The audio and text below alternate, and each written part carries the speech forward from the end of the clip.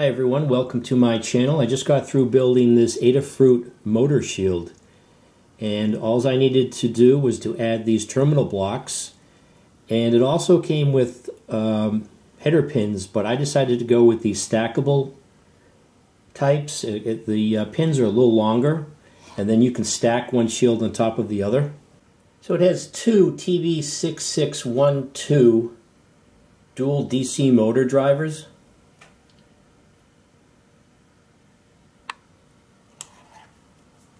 and those are located here and here. It also has a PCA9685. That's right here. This is a 16 channel 12 bit PWM I squared C bus LED controller right there. So with this motor shield you can connect two 5 volt servos and you connect them right here and you can control up to four bidirectional DC motors and up to two stepper motors.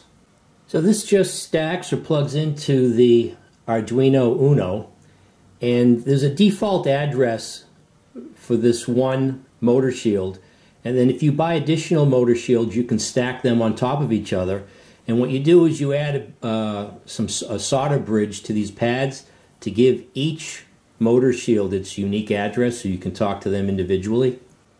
So they have a couple of options for powering your motors.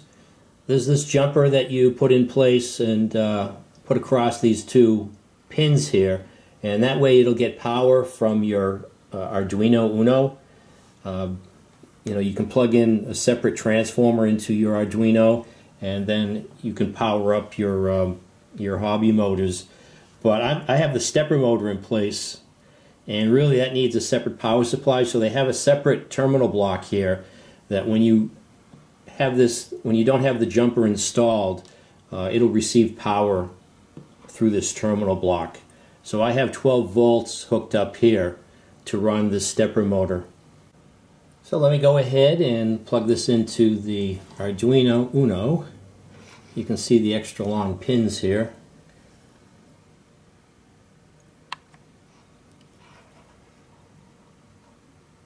And there's a little project area here.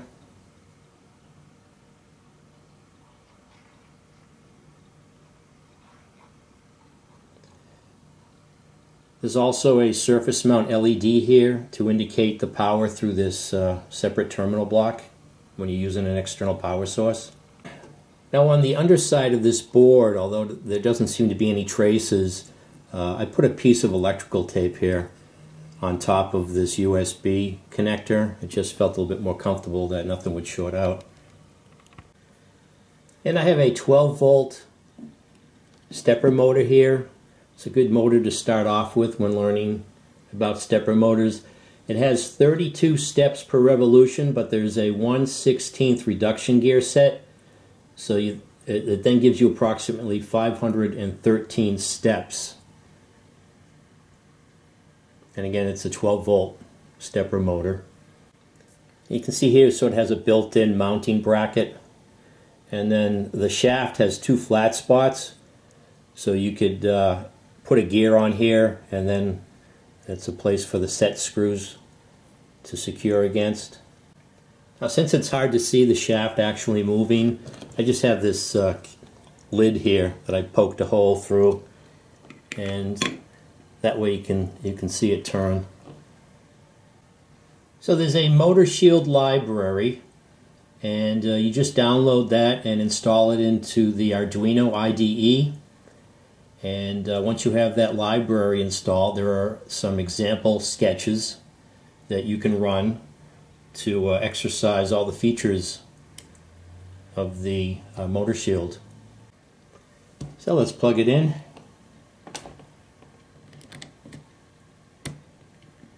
There's a USB. So again, I, I have 12 volts hooked up to this terminal block. I have the power coming from my Heathkit triple power supply here. So turn that on. And then you can see they have the surface mount LED there for the external power, indicating external power. So here's a stepper motor test sketch And you can see here, if you look under examples, there now exists under motor shield. There are seven sketches here for exercising the different features. DC motor test, motor party, stacking test, uh, stepper test, that's the one I'm going to run. Uh, constant speed, multi-step, Accel multi-step. So let's upload this sketch.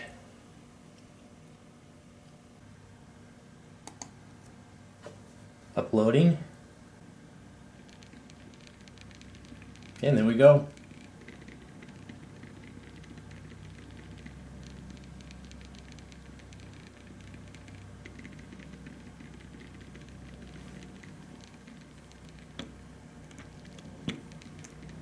Take this lid off for a second.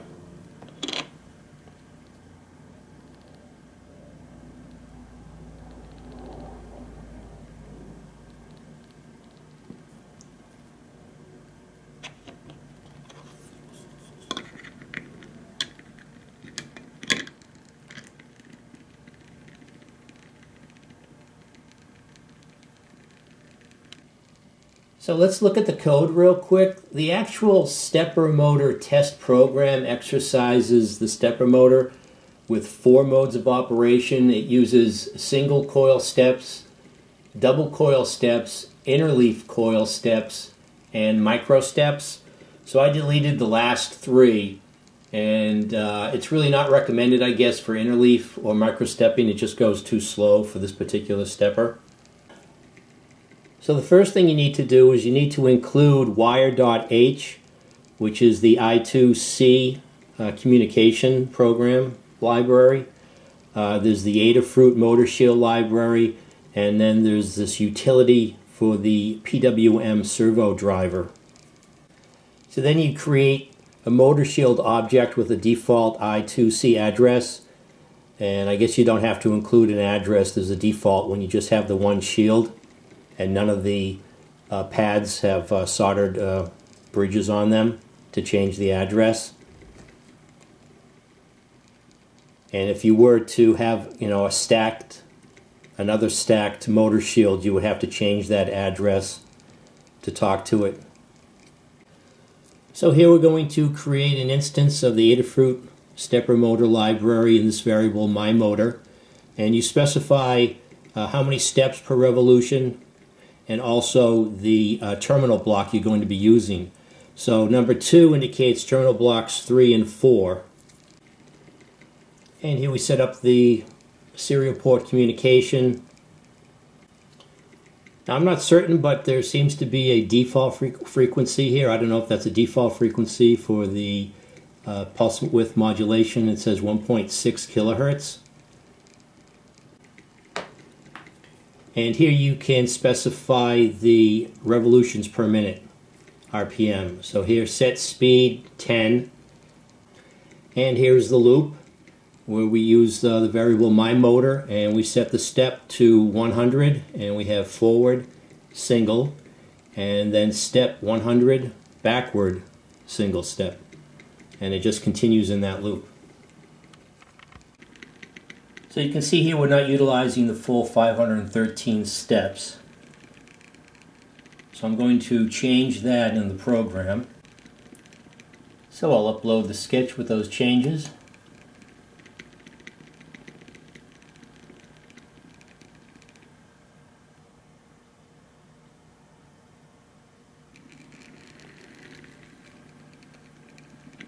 And you can see there now we have full 513 steps.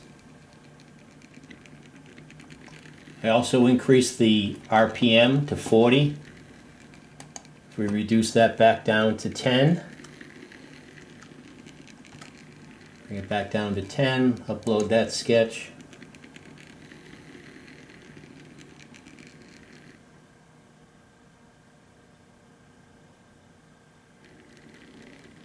And now the speed is slowed down.